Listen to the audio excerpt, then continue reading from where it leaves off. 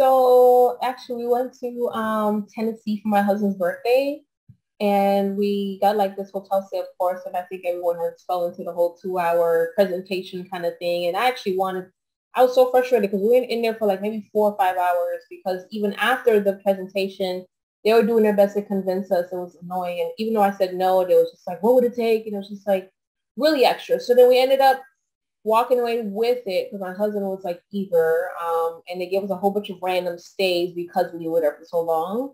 And i remember asking a question because i had a feeling like wait i'm sure that this should be a way to like rent this out. And i remember asking a guy he was just like i'm guessing he knows the legal ends of things. He was just like don't call me on this but yes you can technically rent it out if, if you want to do that in the future. And i'm like okay. So i left we left tennessee and i had that in my mind.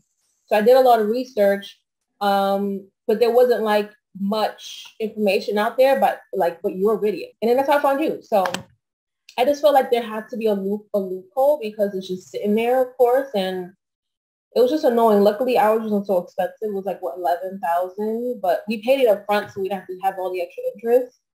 So like, might as well just make money off of it. But my husband and I were always thinking about ways to just have multiple sources of income. So I wouldn't say like a problem, but just noticing that there's another another avenue you can take to have another source of income. Like we actually just rent, and this all happened within a month, like time span of two months. So we got this timeshare. We sold our house. Uh, no, we rented out our house and got another house.